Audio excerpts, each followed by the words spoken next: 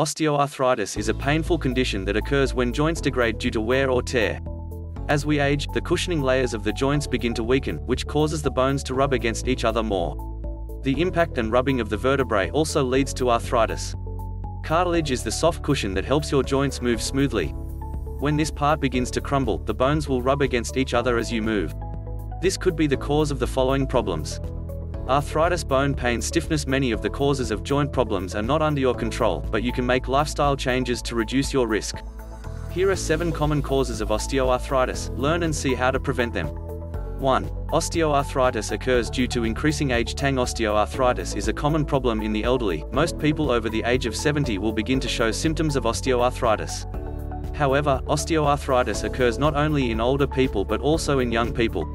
Young people may also experience symptoms that could be signs of osteoarthritis, such as Stiffness in the early morning bone pain joints become weaker movement is more difficult young people are more susceptible to osteoarthritis if they are affected by direct trauma from daily activities such as playing sports, exercising, etc. 2. Hereditary osteoarthritis Osteoarthritis tends to run in families, especially if your family has bad genes for joints. You will be more likely to get it if your grandfather and parents or siblings also have it. Therefore, if your family and relatives have symptoms of osteoarthritis, you also need to find out detailed information before going to see a doctor. Because the diagnosis of the disease depends a lot on the patient's medical history as well as the examination of the patient himself. Learning about a patient's family history can help your doctor find the right treatment for you, so don't hesitate to describe it in detail. 3. Due to the influence of gender Gender also plays a role in the incidence of osteoarthritis. Overall, women tend to experience more symptoms of osteoarthritis than men. Accordingly, a study was conducted to verify the above statement. Participants included both men and women with nearly the same living conditions and similar musculoskeletal factors up to the age of 55 1. The results showed that women were more prone to osteoarthritis than men.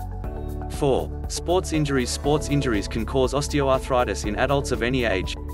Common types of trauma that can lead to this condition are Torn cartilage dislocation ligament injury.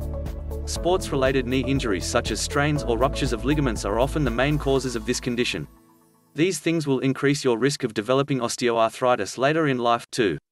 5. Due to the influence of work in some cases, your work or life habits can lead to bone and joint problems. Osteoarthritis is sometimes likened to a wear and tear disease. Repeated knee bends can also cause cartilage to wear down over time. People with job characteristics that involve long hours of movement are more likely to develop pain and stiffness. These activities include manual labor jobs that often have to kneel jobs that require a lot of climbing squats. Common types of joints in our body that are prone to work-related inflammation are hand joint, knee joint, hip joint 6. Due to the influence of weight osteoarthritis is not only related to age, sex or occupation, it is also related to your weight. If you are obese or overweight, your risk of developing the disease is higher than that of someone of a healthy weight. Increased body weight can put pressure on joints in the body, which can be knee joint, hip joint, back 7. Injuries that cause bleeding osteoarthritis can also cause damage to the cartilage.